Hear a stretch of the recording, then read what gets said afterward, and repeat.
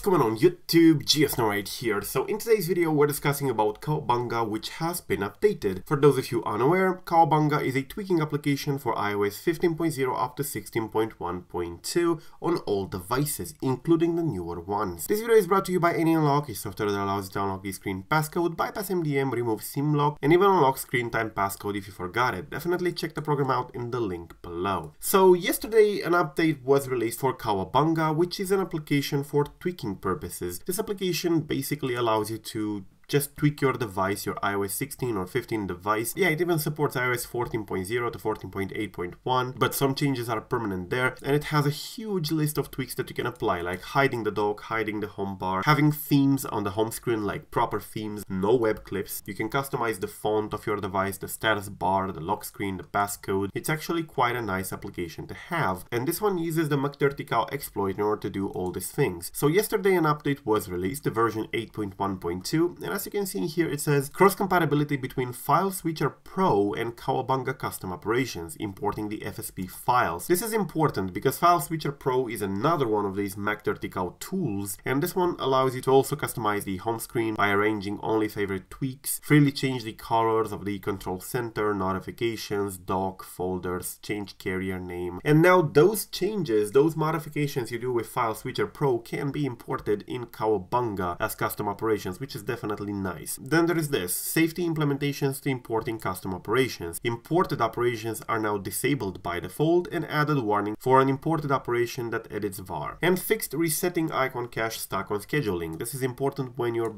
basically loading a theme. If you're installing a theme with Cowabunga and your device gets stuck here on scheduling, now this was fixed. I would definitely advise to go ahead and update. If you want to learn more about Cowabunga, I do have an article here on my website. Is this one here, download Cowabunga IPA, a jailbreak alternative for iOS 15.0 up to 16.1.2. And you can learn more about what it can do, how it looks like and stuff like that. So definitely check it out in the link below. Once you get the IPA file from here, you can sideload it with sideloadly and stuff like that that and it's pretty easy. I would definitely advise you to update your Cowabunga, especially if you have that glitch where it gets stuck on rebuilding the cache. So yeah, that's basically it. Thank you for watching. I am GeoSn0w. Till the next time, subscribe to stay updated, update your Cowabunga, and peace out.